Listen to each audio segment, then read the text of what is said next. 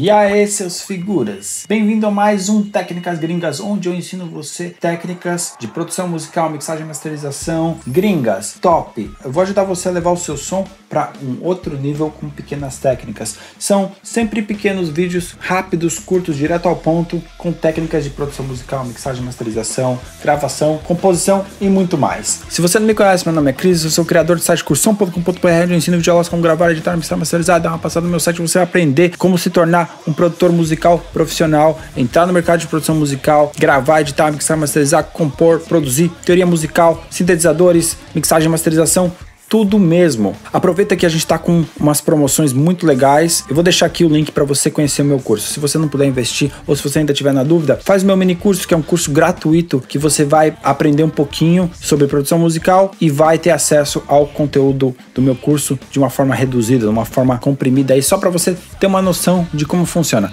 Beleza? Hoje a gente vai tirar um som de caixa. Como é que você mixa caixa? Como você processa a caixa? Eu vou dar umas dicas muito top com plugins gratuitos. Então fica ligado, vamos começar a entortar os botões. Essa música é um cover do Marron 5 que eu produzi, chamada This Love. Produzi há muito tempo atrás, há uns 10 anos atrás, provavelmente. Gravei tudo em home studio, inclusive a bateria foi gravada no meu próprio home studio quando eu morava no Brasil. Esse é um projeto que eu dou acesso a vocês para vocês mixarem e produzirem no meu curso, ok? Nesse ponto, eu dei uma tratada no bumbo, levantei os volumes da bateria. Ainda não tem tons. Vou só subir o hi-hat porque tem vazamento de caixa no hi-hat. Como a gente vai estar trabalhando com a caixa, é importante que a gente tenha aí os elementos. Quando eu processei esse bumbo aqui, eu já dei uma comprimida e veio um pouco da caixa eu comprimi bastante, fiz uma compressão paralela, eu trouxe bastante punch da caixa também, o que pode ser positivo ou negativo. Se você gravou tudo direitinho tem os vazamentos controlados, isso pode ser positivo porque você não precisa comprimir muita caixa, você já conseguiu trazer um corpo da caixa em outros canais. Não que isso seja necessário, mas Nesse caso, funcionou bem. A primeira dica que eu vou dar para vocês é um plugin gratuito, mas antes disso, vamos escutar como é que tá a som da bateria.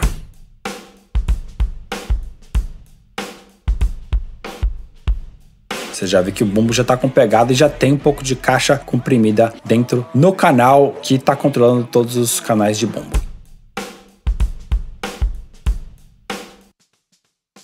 Esse é o canal da esteira. Esse é o canal da caixa. Esse é o over. A primeira coisa que eu vou fazer, e a primeira dica técnica gringa que eu vou te passar é o seguinte: em vez de você processar o canal da caixa, vamos fazer um, uma tipo de uma compressão paralela, mas com um truquezinho aqui, usando um, um desenhador de transiente. Então eu vou duplicar esse canal, tá?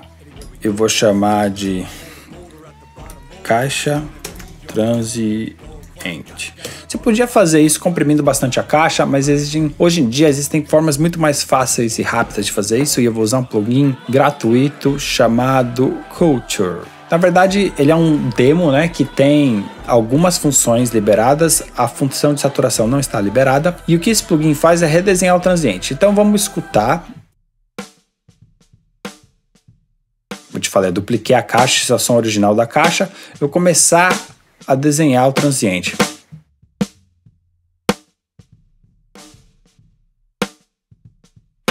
Então aqui ó, você vê a linha vermelha é o que se transformou e a linha preta é o que era. Se eu deixar mais para a direita, ela fica um transiente mais rápido,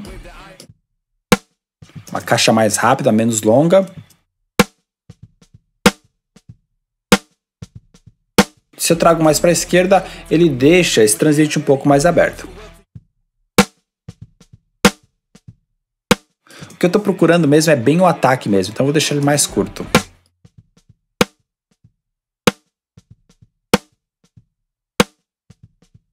E aqui eu posso trabalhar com grave.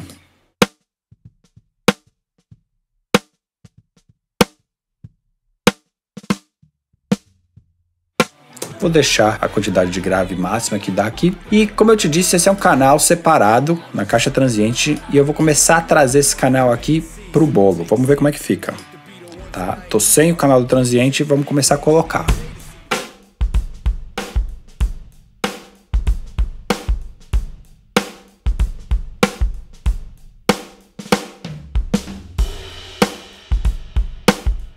Tirar.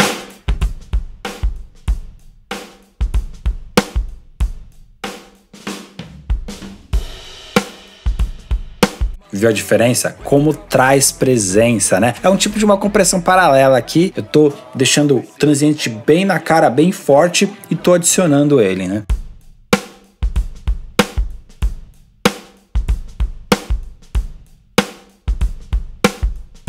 Uma coisa que você pode fazer aqui é colocar um limiter, tá? Só para ter certeza que não vai ter um transiente que vai distorcer tudo.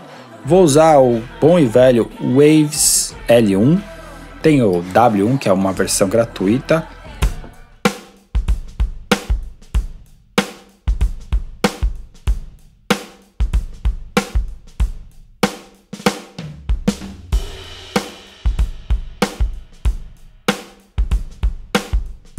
Legal. A próxima coisa que eu posso fazer é equalizar. Então, eu vou primeiro aqui selecionar todo mundo, agrupar, para eu controlar todo mundo através de um canal e eu vou equalizar todo mundo.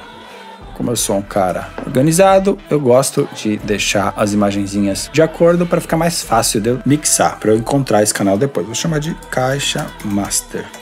E aí, nesse canal de caixa master, eu vou colocar um equalizador. Só que eu não vou colocar um equalizador qualquer. Eu vou usar equalizador dinâmico. É um conceito relativamente novo. A gente tinha compressão multibanda, que era uma compressão misturada com equalização, é, que na verdade era uma compressão por banda. E no caso, aqui eu tenho o F6 da Waves, tem um plugin chamado TRD Nova, que faz a mesma coisa e é de graça. Eu vou usar o da Waves porque eu tenho o da Waves e eu acho ele um pouco mais completo, mas o TRD Nova é muito legal também. Tendo em vista que você pode fazer tudo que eu estou fazendo aqui no TRD Nova, não tem problema nenhum você usar o gratuito, ok? E no meu curso eu ensino a fazer tudo que eu estou ensinando aqui e muito mais com plugins gratuitos também. Dou uma lista com mais de 50 plugins gratuitos para você não precisar gastar um centavo com plugin e produzir nível mercado, ok? Então vamos lá. A primeira coisa que eu vou fazer aqui, eu vou dar uma filtrada nessa caixa, vou solar ela para a gente escutar ela sozinha.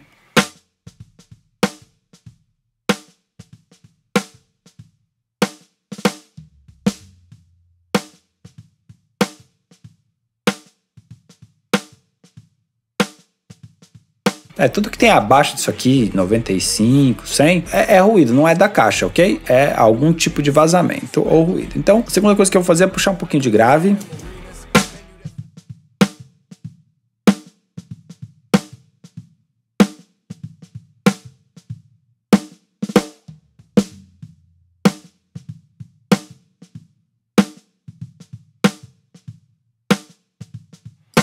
Fechar um pouquinho aqui. E aí vou ativar o threshold. Quando ele realmente estiver passando do threshold, ele vai começar a comprimir. Então eu estou comprimindo por frequência e estou estabelecendo um threshold aqui para quando essa frequência estiver demasiada, ele dá uma comprimidinha só nessa frequência.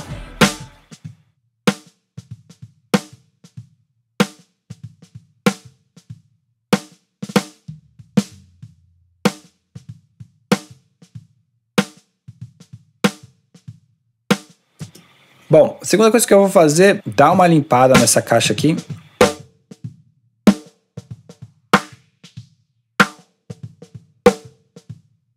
Ressonância. E vou puxar um pouquinho de médio, porque médio sempre traz presença, deixa ela mais na cara ainda.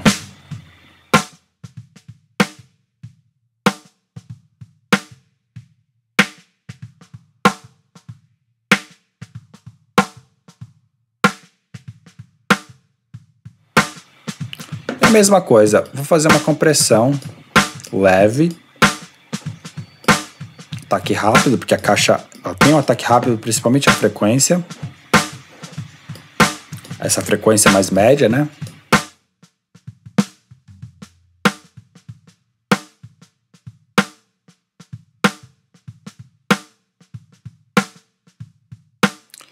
E vou trazer um pouquinho de brilho também, né? Vai trazer algumas outras coisas, mas não tem problema. Depois, se tiver sobrando, eu posso tirar.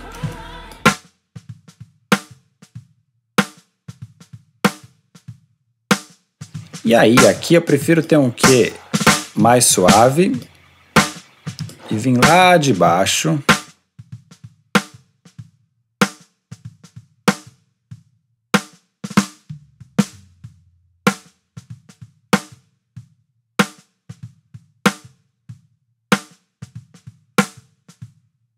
desligar só essa frequência.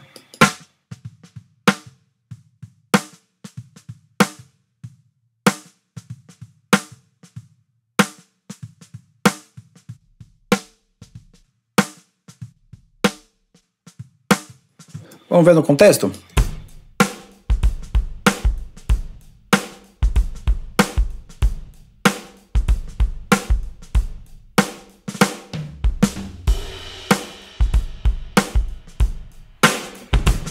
Tirar o que eu fiz.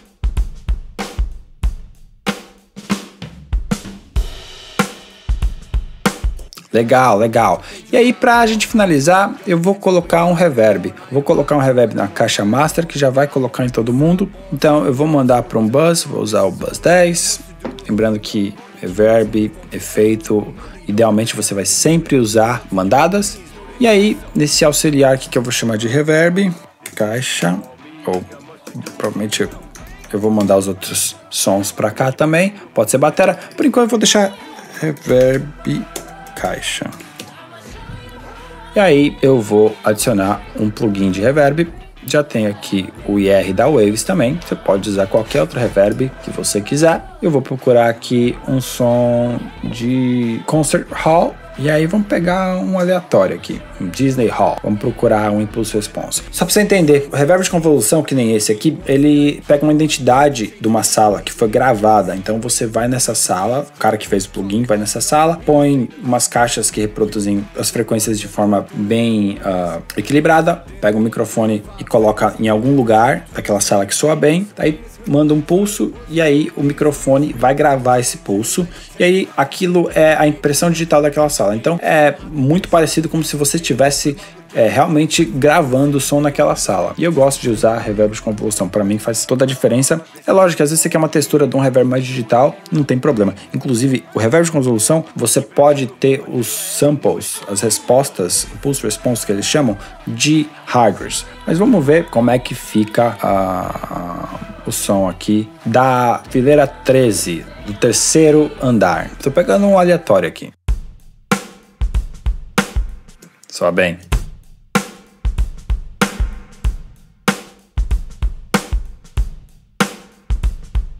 Toda vez que eu mixo uma música, eu tento pegar um impulso diferente para que ela soe diferente, para não ter sempre o mesmo som.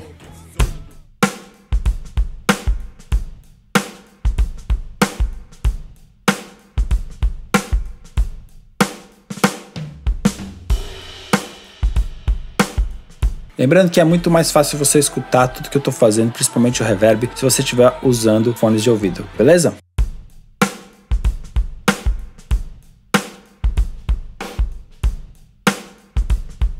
E é isso aí. É assim que você começa a processão da sua caixa. Legal ter um transiente designer. E aí a gente fez meio que uma compressão paralela, né? Duplicando o canal. A gente equalizou, mas a gente equalizou de forma dinâmica, usando um equalizador dinâmico, que foi o F6 da Waves. A gente colocou um reverb e a gente agrupou todo mundo e mandou pro reverb a partir desse grupo. Espero que você tenha gostado dessa técnica gringa. Se você curtiu, deixa o like, se inscreve no canal, clica no sininho. Lembra de uh, deixar no comentário o que você quer ver no próximo vídeo. Espero que você tenha gostado. Se inscreve no mini curso, vou deixar o link aqui e, como sempre, te vejo no próximo vídeo.